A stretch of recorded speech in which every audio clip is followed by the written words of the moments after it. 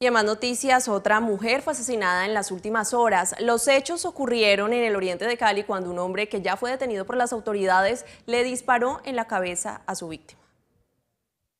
En esta esquina ubicada sobre la calle 81 con calle 28B del barrio Mojica en el oriente de Cali se encontraban a Matilde Noreña de 30 años cuando dos hombres se le acercaron y uno de ellos le disparó. Se le acerca un sicario con un revólver calibre 38, le dispara un tiro en la cabeza que resulta fatal, eh, muere inmediatamente en el lugar de los hechos, fue trasladada al hospital Carlos Gómez Trujillo, pero ya sin vida. Pese a que no se descarta un presunto feminicidio, las primeras hipótesis indican a que se trata de un ajuste de cuenta entre bandas delincuenciales que operan en la zona. La principal hipótesis que estamos eh, verificando a través de los organismos de policía judicial y es eh, la retaliación de dos pandillas, una denominada Los Abuelos y otra El Retiro. En una rápida acción de las autoridades se logró capturar a un hombre sindicado de haber cometido el asesinato. En su poder se le encontró un arma de fuego. Por otra parte, los familiares de Ana Matilde la velarán esta tarde.